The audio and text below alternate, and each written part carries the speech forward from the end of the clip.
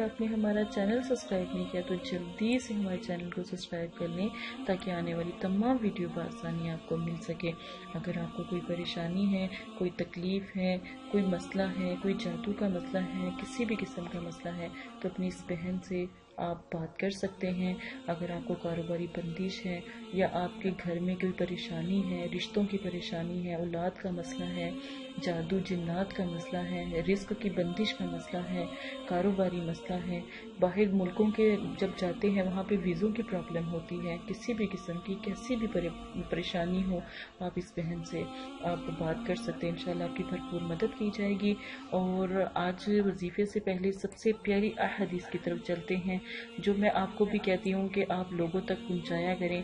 اللہ تعالیٰ پسند کرتے ہیں کہ جو لوگ نبی پاک صلی اللہ علیہ وسلم کا پیغام لوگوں تک پہنچاتے ہیں۔ حضور کریم صلی اللہ علیہ وسلم نے شاد فرمایا، اللہ تعالیٰ سے ڈرو کیونکہ وہی تو ہے جو تمہاری تمام ضرورتیں اور حاجات کو پورا کرتے ہیں۔ تو اپنے رب سے مانگو۔ نمک گھر میں ختم ہو جائے، یہاں تک کہ جوتی کا تسمہ تک ٹوٹ جائے، تو اپنے رب سے مانگو، کسی سے نہ مانگو۔ اللہ پاک پسند کرتے ہیں، جو اللہ پاک سے فریاد کرتے ہیں، دعا کرتے ہیں۔ آج کے سب سے پیارے وظیفے کی طرف چلتے ہیں۔ ناممکن کو ممکن بنانے کا آج میں آپ کو طریقہ بتاؤں گی۔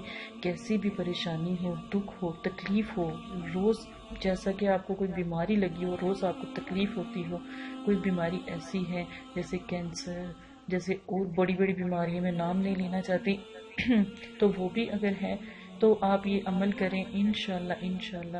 آپ کی جتنی بھی پریشانی، سخت سے سخت ترین پریشانی نیت کر کے کریں رزق کی کمی ہے، رزق نہیں ہے۔ گھر میں کسی قسم کی پریشانی ہے، دکھ ہے، تکلیف ہے، رزق نہیں آتا۔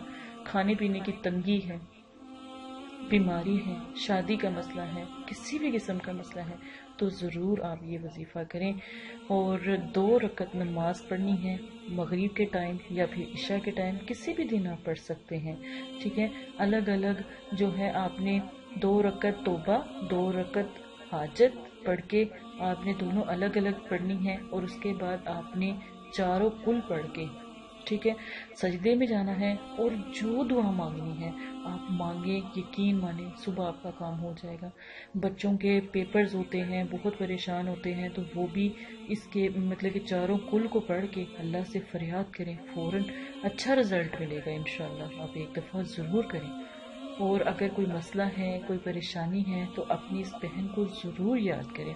انشاءاللہ آپ کی بھرپور مدد کی جائے گی۔